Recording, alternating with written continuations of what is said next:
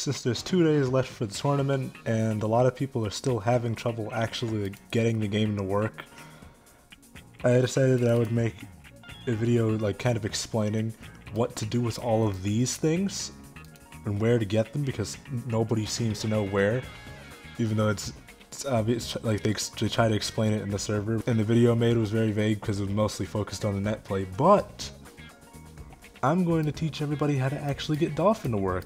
First, I'm going to show you how to get this because this is actually the most important part of everything. And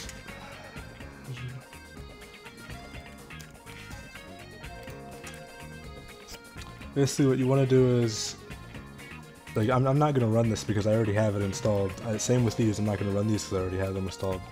But basically what you want to do is first you want to come here choose whatever version you have. In my in my case, I am a 64-bit computer, so I, I would download the 64-bit version. But if you have 32-bit, it should show up as 86 instead.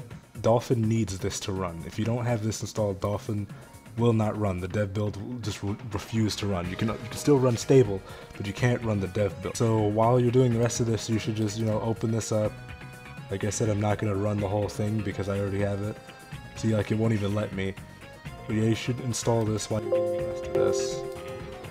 Next, you want to go to the Dolphin Emulator website, and you should get this one on the very top and this one, like just both of them.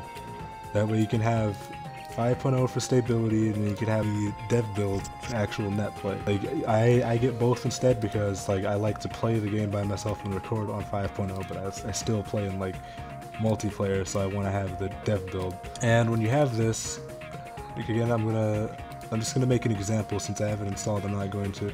You can choose to have these if you don't have them already installed, but I'm not going to.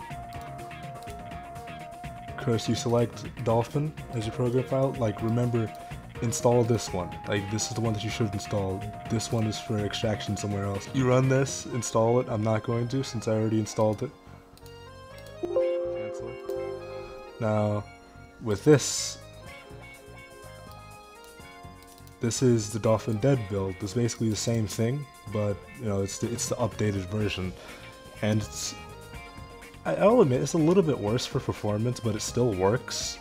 Like you should still be able to play the game. Program files, Dolphin.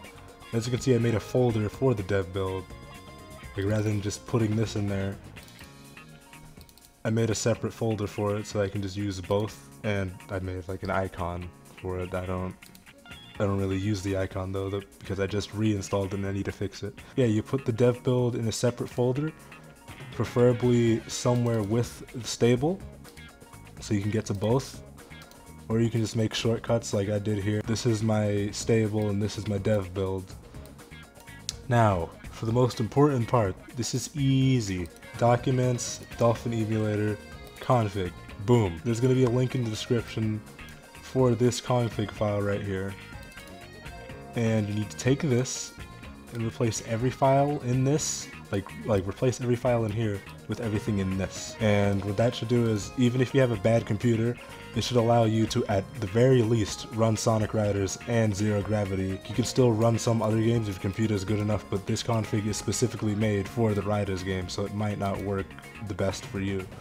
And just real quick just make sure that when you start it up Ah, crap. Being stupid. Oh, there it is. Alright.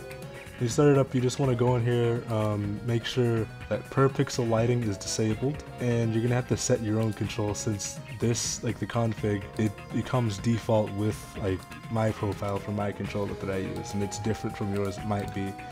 So you might want to set yours just in case. With that, you should just be set, you should be able to run the game. Of course, you can choose to do this if you want to, it makes the game act a little bit weird, so I'd personally recommend turning it off. And when you're in tournament, your memory card should always be turned off because it causes desyncs. Also, if you're just if you just need a little bit more frames, try these settings. These are kind of universal. They work on everything, and I can't really do an example of how it performs since Bandicam is it's freaking awful. But just try, trust me, it works. Everybody who I've given the config to has said that it works. I'll try to update it if it doesn't work. because I know that sometimes the dev build updates and then the config doesn't work anymore. But yeah, that should clear everything up. You should be able to install the game and actually play in tournament now. You should probably get on that because in two days we're having a tournament. Actually, I think registration just closed. I don't know. You should go check.